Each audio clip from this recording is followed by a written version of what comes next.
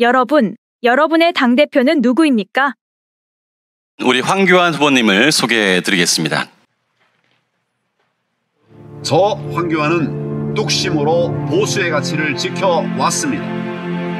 윤석열 정부의 안정적인 성공을 위해 총선 승리를 이루어 내겠습니다. 당원 중심의 정당을 만들어 내겠습니다.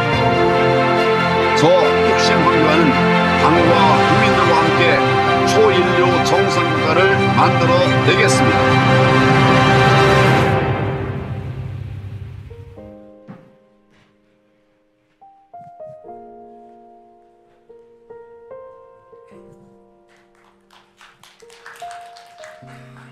예, 존경하는 당원 동지 여러분. 저는 윤석열 정부의 성공을 뒷받침하는 당 대표가 되겠습니다. 저는 지금도 박근혜 대통령 탄핵 때의 일을 똑똑히 기억하고 있습니다. 당시 대한민국이 얼마나 휘청거리면서 벼랑 끝에 서 있었는지 또 민주당이 얼마나 나라를 무너뜨렸는지 저는 또 어떻게든 나라가 무너지면 안 된다는 절박함으로 버텼습니다. 죽을 힘을 다 했습니다. 당시 보수 정당 국회의원들도 당을 버리고 떠났습니다. 민심도 다 떠난 상태에서 어떻게든 나라를 지키기 위해서 안간힘을 다 썼었습니다. 그래도 다행스럽게 당시 안보도 경제도 더 나아진 상태에서 정권을 이양할 수 있었습니다. 사드도 배치했고 또 주가 지수도 높아졌습니다. 저는 그때 밤잠을 설치면서 뼈저리게 느꼈던 고통을 지금도 또렷이 기억합니다. 지금 윤석열 대통령이 민주당의 횡포로부터 얼마나 큰 어려움을 느낄지 가히 짐작이 갑니다. 이를 극복해야 하는 상황을 보면서 제가 권한대행 시절 느꼈던 고통이 하나하나 떠올랐습니다. 반드시 윤석열 정부를 성공시켜야 합니다. 그것만이 나라를 살리는 길입니다.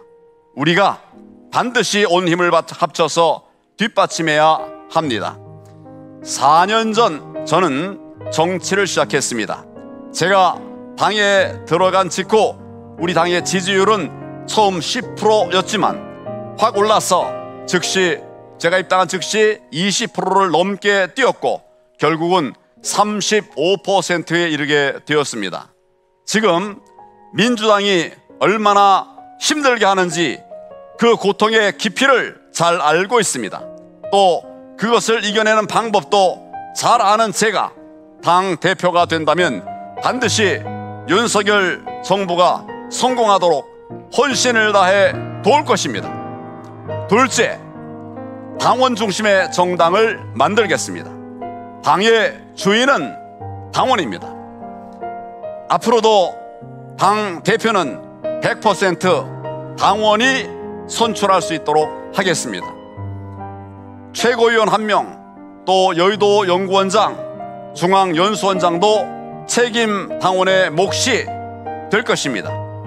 IT 시스템을 활용해서 당원들의 소중한 의견을 적극적으로 수렴하고 또 활용하도록 그렇게 하겠습니다. 셋째, 국민을 시원케 해드리는 정당을 만들겠습니다. 동지들이 열망합니다. 불의에 맞서 싸워서 정의를 세우는 강한 정당이 필요하다고 보수의 가치가 분명한 통 자유민주 정당을 만들겠습니다. 당내에 특별 민생위원회를 설치해서 고물가 또 고금리로 실험하는 민생 문제를 해결해 내겠습니다. 넷째, 총선 승리와 30년 자유민주 정권을 창출하기 위한 마스터 플랜을 만들겠습니다.